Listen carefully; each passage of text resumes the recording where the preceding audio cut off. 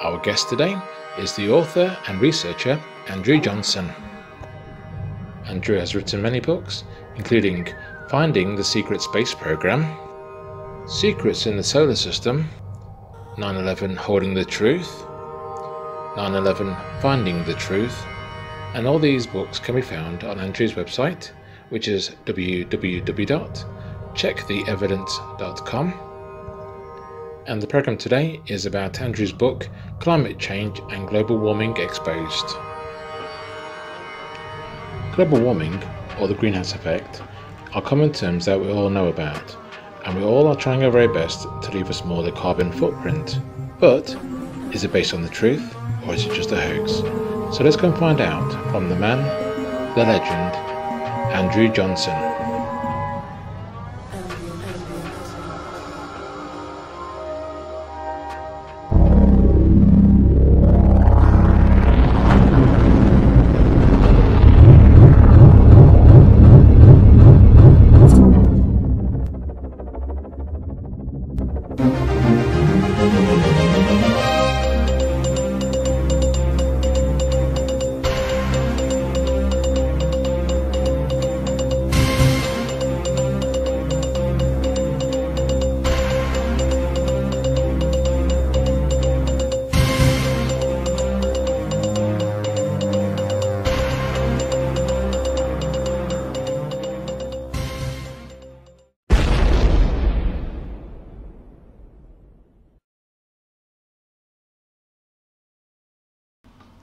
Welcome to Unite Planet. Uh, today we're in the living room of enlightenment, and today we're joined by a regular guest. You like that? as well? Oh, yeah, yeah. Joined by a regular guest that we have on um, quite often and always welcome, Andrew Johnson. Thank you very much for inviting me back. You're very welcome. Um, today's topic is going to be climate change, global warming exposed. Um, a lot of the info will be based on Andrew's book that's been out. How long has it been? oh, it's been out uh, almost a year now, I think. Mm. Uh, maybe not quite a year. I can't remember the exact date I published it, but I think it was like um, uh, August or September last year. I, Yeah, I put yeah, it yeah. out. So yeah, So obviously, if you want to have the book, we'll have the links and everything. yeah. And I'll just say that uh, you obviously you can get a paperback as you see here, but there Mhm. is also a free download available, so you can download it in PDF form. Mhm. And uh, but you can get it also as an ebook, which is a bit cheaper than the paperback. yeah, yeah. But yeah, basically the PDF is free, so anyone who's got a web connection and a PDF reader can, can read the whole thing. Excellent. Superb. Excellent. Um, so we'll just start with um, just an overview of, of climate change and, and global warming and Mhm. and what is out there in the mainstream and Mm, mm. and then go Okay. from go from there. Certainly, yes. I mean, I've watched the story of climate change and global warming developing Mm. since really uh, the late 80s, early 90s. Mm. And, uh, you know, I remember, for example, doing geography lessons at school and we learned about how to read a weather map, Mhm. Mm. you know, and things like talking about the cloud cover, you do that in eighths, so we used to Mm. then, so you say Yeah. one eighth cloud cover or Mhm. one quarter cloud cover, even you'd say eight eighths cloud cover, you know, and all this. And uh, we learned how to read uh, weather maps and things. And I remember our geography teacher saying that, uh, you know, that there was talk about uh, another ice age, uh, you know, coming in at that yeah. point, and or then some people thought it was warming, blah blah blah. And uh, he didn't really put things one way or the other.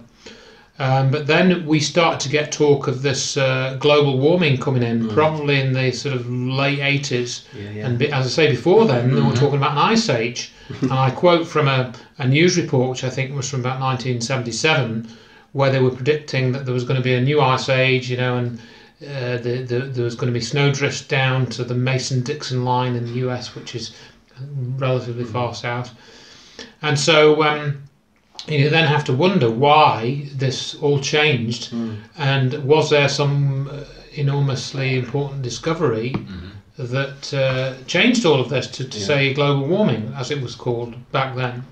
And my simple answer is that I couldn't see what alleged discovery there had been, Mm. you know, to, to say, oh yes, everything was going to warm up. Um, and I remember watching, uh, I think it was in 1991, Channel 4 did a program Hmm. called um, uh, The Greenhouse Conspiracy. Oh. and that's when they were. You know, that's when this uh, phrase, the greenhouse effect, come in, Yeah, yeah. and that you know that's not used much now. That you don't hear No, that no, much yeah, as yeah. much now. Mm. Or you do hear greenhouse gases, don't, yes, don't that's you? right. Yeah, yeah. Which is a bit Mm. strange because what are the gases in a greenhouse? Well, air. You know, come on. Yeah. So that in itself is a bit of a, a silly phrase, Yeah, isn't it? yeah. Which, of course, we find that as you get into this, that the, the terminology is rather silly, Mm. frankly, but it's it comes out of people's mouths without much thought. Mm. I think o- oftentimes. Mm-hmm. Um, so yeah, greenhouse. The greenhouse effect. What's that? Well, that's this idea that obviously, if you go into a greenhouse, it's going to be on a given day. It's going to be much warmer inside Mm. Than if you're outside the greenhouse. Particularly, of course, when the sun is out. Yeah. The point being that the infrared radiation from the sun heats up the air because you're in an enclosed um, container. The heat cannot be released as quickly as it's coming in, so you get this net warming effect, uh, and that's the greenhouse effect. This net warming effect. So their argument became from somewhere. I don't know, don't really know where in the 1990s that carbon dioxide what what that does is if you have a lot of carbon dioxide it allows uh, heat to come in from the sun essentially but it, it, it insulates so you the heat can't get back out again according to according to the theory of this greenhouse effect. Uh, and there are other gases in the atmosphere which you know will enhance this capture of heat, the, the, the heat uh, not being able to get away. One of, one of which um, is actually water vapor, which isn't thought of a gas, and that actually has a bigger greenhouse effect than carbon dioxide does, Okay. which is another of the sort of silly things Yeah, Yeah. yeah. um, that uh, uh, you know c- comes into this when you start to study it. Now, of course, you know the the the, the diehard uh, climatologist, uh, uh, global warming believers will argue that water vapor is different because it behaves differently and it sits at a different level in the atmosphere and blah blah blah. So they will give various arguments as to why water vapor isn't really as significant as carbon dioxide. Um, but one of the things which you can soon find out about carbon dioxide is that the actual proportion it is of the atmosphere is very small. I think it's something like 0.0013% of the atmosphere. Yeah. So it's a tiny Yeah. fraction of what, what the overall atmosphere is. Um, so as a whole, you know, it of the, of the atmosphere, it's actually relative, a relatively small component. Mm, yeah, yeah. Um, so that's the first problem with this theory of the, this, the, the, the greenhouse warming from carbon dioxide. And um, another issue, for example, is that if you look in the historical records from ice core samples and from geological records and things like this, and tree rings that go back a certain number of years, like say to the uh, 17th or 18th century, I think particularly in the 17th century, some of the dates I've put in the book, Yeah. and I'll explain why I haven't, I haven't got all the dates in my head in a minute, but um, you can look back in even in uh, the history books. For example, they used to grow, grow grapes in Britain. They used to grow grapes in Britain, I think, in the 17th century, and there's etchings of vine vineyards, you know, in Britain. So the point is that it's been warmer in the past Yeah. without any industrialization, you know, before uh, the current uh, sort of uh, situation within the widespread industrialization that we have. So that means that let's just say the CO2 warming theory is right, which it mm-hmm. almost certainly isn't, mm. from if you study all the scientific data Yeah. Yeah. and don't selectively pick, you know, cherry pick it. It's not necessarily going to be a problem anyway. I mean, mm. okay, w- w- distribution of, of water may be uh, different in a warmer climate, and distribution of plants and certain crops might become viable whilst others become not viable mm. anymore. So mm-hmm. we might have issues like that perhaps if that happened. But uh, again, it's been warmer in the past, and that's mm-hmm. all in the records Yeah, already than it is now. The, the, the, the, you've had warmer summers, and we've also, of course, had cooler summers. Mm-hmm. Mm-hmm. So this idea of global warming then says, well, really, why is that even a problem? What what so what if the globe does warm? You know, is that going to kill us all? And and the, and the argument is that well, yeah, it's going to make life really bad. You know, so we have to do this, that, and the rest of it, which we'll come on to in a bit. So the whole a you can question the basis for the for the global warming theory in the terms of the carbon dioxide. That's questionable. And b even if that was true, you can question that the the results of that warming would be negative. You know that that's questionable too. It might actually be positive. Um, and there's also simple experiments you can do with growing plants. So you can um, basically put a plant inside a sort of greenhouse type thing, or one of these just covered covered uh, things that the sunlight can get through. You know that they use f- for mm-hmm. protecting certain types of crops or plants or trees. And then you know, so in other words, you enclose it in some type of plastic marquee type thing. But you know, mm-hmm. marquee's the wrong word; it'd be all around, and it wouldn't be a glass greenhouse. But then what do you do? Pump carbon dioxide into it, and what happens? The plants grow better. They grow mm-hmm. grow taller. So you have two, you know, two of these plastic sort of greenhouses, whatever you want to call them, side by side. Pump CO two into one, and no CO two in the other. And the plants in the one with the CO two will typically be bigger than in the other one because they they metabolize it as part of photosynthesis and produce oxygen. But they, so they like carbon dioxide. Yeah, yeah. Right. So again, you know, make what you will of that. Um, so then, of course, uh, various figures have been put out that there's the, the average warming, the average temperature of the globe has gone up. These figures have been disputed because it depends how you measure it. Ah, yeah, Um, yeah. For example, one of the obvious and well-known um, climate phenomena, if you want to call it that, is the uh, heat island effect. So, in other words, if you measure the average temperature in London uh, and then measure the average temperature in a village outside of London or just outside a village, then the average temperature in London is probably going to be higher because you've got all that tarmac, concrete, asphalt, structure, hard materials. You know, they they absorb heat from the sun during the day, mm. radiate it at mm. night, and so the average temperature is higher because the materials in that uh, city or that town they hold the heat in. You know, they're, they're like giant storage mm-hmm. heaters. Yeah, yeah. So you're going to get that, but mm. that's not the same as global warming. That's Yeah. that's that's urban heat. That's called the urban heat island effect. Yeah, that's been known about for, for years. So you can't say that just because the city is warmer, then the rest of the globe is going to be warmer. Mm. It doesn't work like that. Uh-huh. So this is how they put it out, is it? There's a- This ca- in yeah. certain instances. Mm. So, so for example, if you take a set of temperature data, mm. and they say, oh yeah, well the average temperature has actually gone up, Yeah, yeah. but you've got to know where those temperatures were measured at. If all those temperatures and all those thermometers were in cities, and if those cities have been getting bigger, Yeah. then it, yeah, that's probably true. The temp- average temperature probably has gone up. Mm-hmm. Um, uh, so you've got to know where the temperatures were taken from, and what proportion, say, were in cities, what proportion were near the ocean, you know, and this sort of thing. Um, so often the argument, arguments are simplified beyond a level that they should be uh, Yeah, simplified. yeah, yeah. Um, and over the last sort of, well, in fact, since 1991, even that 1991 documentary, uh, they had scientists that were sceptical of this idea of, of global warming even back then. Okay.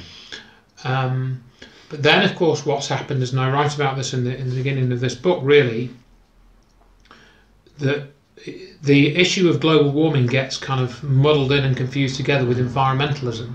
Right. Right, yeah. You know, yeah. this this is the, this is what is put out really and not properly, um, you know, explained and, and, and, and differentiated between, is that oh, you know you show somebody a, a, um, a picture of a factory belching out whatever on- on TV, and it's maybe sulfur dioxide that's coming out of this chimney or something.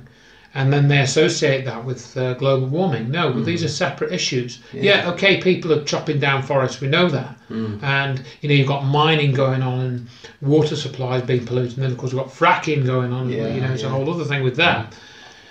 But that and that's another thing. So we're all concerned about global warming, but they don't seem to be concerned about fracking. Hmm. You know, they're not. They're actually encouraging fracking. Yeah. The government are trying to get this going. Yeah. Yet, of course, this is surely going to produce more methane. Methane's coming out of the ground. That's a greenhouse gas. Yeah, So even if they have leakages, that's going to make global warming worse, according to their own arguments. Uh, then you're going to burn that gas, which should actually, you know, uh, put it into the gas uh, network or whatever, wherever it goes, and that's going to create more Yeah. more uh, CO2 according to them. Um, so you know you, you've got all kinds of contradictory uh, information and actions contradicting with what they claim is being shown by the science. So there is clearly something else going on, Yeah. uh, uh, and and, and you know, th- this is more what this book is about, really, Okay. in, in, in in this. Um, but let let's just say, for example, you have to separate out environmentalism from you know issues of global warming. Yeah. They are they are related, but they are not. One does not automatically create the other. You know. Yeah. Um, and um, so in the book, really, I go through some of that, and I also go through where the idea of global warming came from. And it actually came from uh, a, a- few people. Uh, one is um, James Lovelock. He was one of the people that first proposed that the, the Earth was warming up uh, and, and reacting to uh, the presence of human activity, you know, and what it was doing to the environment. The other one was Maurice Strong, who ironically is, a, is a, a- an oil billy or was an oil billionaire. Okay. Um, and um, so you start to look at where these ideas came from, and then you, you, you find a document from the Club of Rome, which is one of these uh, sort of uh, international think tanks. Yeah. Yeah. And Did they have um, a summit as well? So, yeah. uh, they, they've had various summits, Summits, I think. yeah, yeah, but there was yeah. there was a document produced in 1991 Mm. um, which was meant to be looking to how you know looking at things like population increase and changes in uh, land uses and things like that. I, I suppose was in it, but in there they basically said uh, we invented the idea of global warming so that we could um, you know influence. Uh, Public policy. That's basically what they say. I can't remember the exact quote. So on page 75 of this uh, Club of Rome report, let me just get the title of this report. Um, the First Global Revolution, a report by the Council of the Club of Rome. A blueprint for the 21st century, this report by the Club of Rome sets forth a strategy for world survival at the onset of the First Global Revolution on a small planet we seem hell bent to destroy. And we'll come back to this very concept shortly that we're hell bent on destroying. I'm not hell bent on destroying the planet, so I don't know why they're saying uh, we. I'm not part of this we, thank you very much. With conclusions that are even more far reaching that those of its uh, limits to growth report 20 years ago. I should say then. Uh, this new glo- global revolution comes into being amid uh, social, economic, technological, and cultural upheavals and calls for an all out attack on world crises. So that's what they're saying. So it's like fear mongering, basically. Yeah. It's the end of the world is nigh, in a, in, a, in a phrase. So on page 75, they say, under a heading, the common enemy of humanity is man. So we're the enemy of ourselves, according to them. In searching for a common enemy against whom we can unite, we came up with the idea. Just dwell on that. Right. We came up with the idea. Not we did a scientific mm. study Mhm. that showed that this was the case. Mm-hmm. We came up with the idea that pollution, the threat of global warming, water shortages, famine, and the like would fit the bill. In their totality and their interactions, these phenomena do constitute a common threat which must be confronted by everyone together. But in designating these dangers as the enemy, we fall into the trap which we have already warned readers about, namely mistaking symptoms for causes. All these dangers are caused by human intervention in natural processes, and it is only through changed attitudes, changed attitudes and behaviour that they can uh, be overcome. The real enemy then is humanity itself. So it's all our fault. Yeah. So it's all our fault. Yeah, and as I yeah. say in another version of saying that, we drive the cars, right? Mm-hmm. Uh-huh. You know, we use the electricity, we have the cups of tea and boil the kettle. Uh-huh. You know, so we've caused all these terrible problems in the world, and we should be ashamed of ourselves, shouldn't we? Absolutely. So the only way, of course, to get around that is we need to be controlled because we're irresponsible. Mm-hmm. So you know we've got to do things to mitigate these negative environmental effects. Uh-huh. And again, they've they've put under the, that umbrella there several things. It's not just carbon dioxide. Mm-hmm. They put like water, you know, usage and that sort of thing. So that essentially then sets the scene for what came next. which essentially, um, as many people see it, and I agree, is the what was called um, Agenda 21, which was this document that which which was produced out of the Rio summit Yeah. Yeah. uh, in 1992. Now I can't remember whether the summit was 1991 and the document was 1992, or whether the you know the document was prepared for the summit. I, I can't remember the exact order. Not that I don't think that really matters that much. But if you then go to 1992, you will see that this uh, um, Agenda 21 document was produced, and since then, it, bits of that document have been used to set public policy. And this idea of carbon footprints and uh, various controls that have been suggested have come essentially from that Agenda 21 document. Uh, and, and one of the uh, bits of language that comes out of that is sustainability. yeah. That's one of these Agenda 21 buzzwords. Um, and there's a, another couple of phrases as well which have which have come out of that, and I've got them in the book here. Is uh, smart um, one of the words that they is a buzzword as well? That's that's come out more recently. I don't think Yeah. that was in the original um, Agenda 21, but yeah, you've got you know, things like smart meter, smart grid, uh, this sort of thing. Uh, now we've got smart motorways here in the UK. Um, They do that, don't they? Link buzzwords so it, we can easily identify with it, and then Yeah, they've got us, haven't they? absolutely, definitely. So, so yeah, so you know you- you've got that's come out of it, and I go through a little bit of the Agenda Twenty One document. Uh, of course, it's it's um, you know it's um, three hundred pages long, so I don't go through all of it. No. And again, uh, the Agenda Twenty One document, it sounds like a good idea. It sounds like oh yeah, no, we, need, Yeah. we need to we need to use things responsibly. You know, we shouldn't use too much coal. We shouldn't use burn too many uh, resources unnecessarily. We should run businesses efficiently so that there's not as much wastage. We should um, try and do things in our own lives so that we don't waste resources. All that's good stuff, you know. But I already do all of that myself anyway, and I think most other people that do that I know, um, because particularly if you're trying to be, uh, you know, economical with money like I am. Yeah. You know, the less resources that you use, the less money typically you're going to be paying out anyway. So I'm fairly true, yeah. Yeah. frugal with uh, all, all the resources that I use. So, um, but the Agenda 21 document then sort of goes on from there and makes recommendations about uh, how governments should implement legislation which then is used to control people's activities. Yeah. And that's, of course, now why we've got, you know, sort of 10 years after that uh, Agenda 21 document came out, we've got this expression of carbon uh, footprints.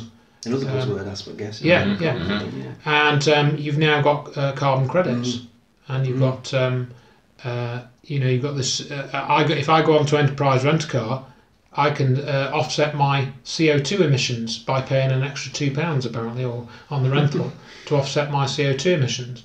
You know, uh, so how does that work? um, and uh, they're, they're calling it things like carbon tax. I mean, Yeah, this is yeah, ridiculous. yeah. You know. But, but, but, but, but it would appear to me that they chose carbon dioxide because carbon dioxide is the gas that we all breathe out. So if they can carry on with this propaganda, which claims that CO2 is a is essentially a toxic Mm-hmm. poison which is going to kill us all in, when it mm-hmm. when it's in excess, uh-huh. then they can basically say when we can breathe and not breathe because mm-hmm. that's what we will breathe out. Uh-huh. You know, of course, that's the extreme version, but that that to me is a the way that the propaganda works. You know, that that would be a logical kind of extreme of use of that propaganda Yeah. Yeah. because it's all to do with C- CO2. Mm. And, and despite the fact that now we haven't really had any significant warming, I don't think, there's been no significant warming since 1998. Hmm. So that's just normal changes in climate. Hmm. You know, I, I don't think you can possibly think, oh, oh yeah, well, we set up this enormous factory, you know, in the Midlands somewhere, and it's been belching out all this CO2. Therefore, that's what's made all this weird weather. No, we can't say that. Hmm. There's no, there's no link to that. Um, and I mean, also in the book, this book isn't really about debunking global warming. It's not about that. Mm-hmm. Um, but I do put some information at the beginning, and I di- direct people to other resources because there are many books now out, which um, you know go into a lot more detail than not what I've just said about the problems with. Uh, the amount of CO2 in the atmosphere, you know, and like other books, for example, that would do a much better job than my book does of saying, for example, a volcano erupts. The amount of CO2 that comes out of a volcano is like what we produce in hundred years. Mm, It's, yes, you know, it's an yeah. enormous volume in one single volcanic mm, eruption. Wow. You know, it's it's enormous. And so then you would ask, well, so okay, so this CO2 problem then now is it the stuff that's coming out of volcanoes, the CO2 that's coming out of them that's the problem, mm. or is it what we're belching out of our cars? Mm-hmm. How do you differentiate between those two mm. forms of CO2 in your equations? How do you factor in that, like, oh, one year we've had three volcanoes go off, you know, and the next year we've had five. How do you, how does that factor into your figures? You know, you ask those sorts of questions and you won't really get any decent answers, really. No. You know, they'll try and sidestep the issue. So I don't really go into that that much because my book's uh, not about that. That's just setting the scene for what we've been fed. All right? And I also give you examples of how anyone who disagrees with the consensus about mm. the settled science of global warming, mm. which is no such thing, Yeah. Mm-hmm. it's settled propaganda. That's all it is. Yeah. Uh, Like David Bellamy, for example, the oh, moment he he he said, one. Mm-hmm. yeah, yeah. he said, no, this global warming, no, you can't prove this. This is no, this is this mm. this is not the case. The moment he he expressed disagreement on that in the in the sort of eighties and nineties, he was uh, no longer seen on the BBC. So he's one. Did Johnny Ball say something? Yeah, Sure. Johnny Ball. He, he, Yeah. yeah, he's he's uh, he's a skeptic, and he's not really seen him much. Yeah. Um, There was a French guy that I put in here. He was he was ostracised. French weatherman. Uh, he was given a holiday. Uh, a long a long holiday, yeah, yeah, from reporting on the weather. You know, because he, he said that this CO two is you know is not right. So, Um, so it's in the benefit of your career that you, you you go along with the propaganda. Correct. So it's Yeah. consensus thinking. If you go along with the pr- propaganda, you know, and there's there's other, other examples that I've mentioned before. Like to give an example, if you're an academic Mm. and you want to do write a paper on the effect, uh, sorry, the decline of the uh, red squirrel population in Scotland, and you want to do a scientific study on that, uh, you probably wouldn't get that necessarily funded. But if you said uh, the effect of global warming on the squirrel population of uh, northern Scotland, you know, red squirrel population in northern Scotland, you get that funded. You know, obviously, I'm ex- exaggerating to make a point, but it's yeah. that Yeah, type of thing. Yeah, Yeah, yeah. That's the way that funding bodies are rewarded. And if you wanted to do research saying uh, the, the global cooling in the last uh, 10 years, as shown in uh, uh, tree rings, you know, from various sites, you would not get that funded. You wouldn't get it funded because it's not part of the consensus thinking. Yeah. And that's the way that it works. And that's primarily the way it still works. I mean, there's been a bit more scepticism uh, perhaps in the last five years than there has been. Um, but then, you know, e- even the Pope has said that uh, we've got problems with global warming. Uh, Paul McCartney said it. Yeah, yeah. You know, he he said it in, a few years back, uh, and and, it, and I think it, the quote from Paul McCartney even mentions Holocaust deniers as well, Oh, something yes, like that. Yeah. Really? Whichever Paul McCartney it is. Yeah. Oh, oh yeah, one it is, yeah. yeah, yeah, yeah. And I've got the quote in the book here. I won't I, I won't flick through to find it, but you'll find it in here. Um, and then there was even a German uh, scientist who basically said that uh, people who deny climate change or deny the causes of it, should, he didn't, you know, that gets missed out as well, uh, should be killed. That's, that's as what- blatant as Wow. you can get. Yeah. Yeah, yeah. that that was basically what he said. Um, I'd have to get the exact quote, but it was ba- that's basically the, the, the result of what he what he what he said. And then he had to, he had that on his website for a while. And of course, he had to take it off. um, Eventually left it on for a bit, but yeah, yeah. So that, that I put all that in the book really, and people can check the references, and you, know, you can find that website. I think I managed to find the page that the guy deleted in the Internet Archive, so you can go and find that. Um, and that's really sort of the first, I think, couple of chapters. But it also then, in doing that, you need to establish that we've got this similar situation to have with the 9/11 research, which I think we discussed in the past, in that you've got the official story, yeah, yeah. which is the hijackers and all that. Then you've got this um, other story like bombs in the building, remote controlled planes to capture certain Mm. Yeah, people, and then you've got the actual Mm. Reality, which is what the evidence shows, which is the towers turned to bust, the bust turned to dust. It was an energy weapon, Yeah. and the planes were likely some form of image projection. That's what the truth is. You know, no debate on that as far as I'm concerned. That's where the evidence points Yeah. to, isn't it? So, Exactly. Yeah. You know, you can debate about uh, what the exact uh, nature of the weapon was that Mm. Yeah, turned them to yeah. Mm. dust, who owns it, all of that. But that's the only thing that explains the evidence. Same with the planes. Mm-hmm. We don't know quite how the projection system worked, or whether it was a holographic system, Mm. or you know whether it was a projectile, whether that image was somehow projected from somewhere else, or whether it was a missile that had a projector in it, and that gave this image of the plane. We don't know that. Yeah. The fact that is that it was a projection of some kind. And we know they have that kind of technology. don't? Yes, I, I, I, absolutely. Mm-hmm. Um, so with the climate change, you've got yes, it is CO two. Mm. No, it isn't. And then you know there's various sort of ver- sort of versions of that. You've got you've got a dialectic where two groups can Yeah. argue with each other, Mm. and this is primarily what's been going on with nine-eleven truth movement and Mm. with other things as well.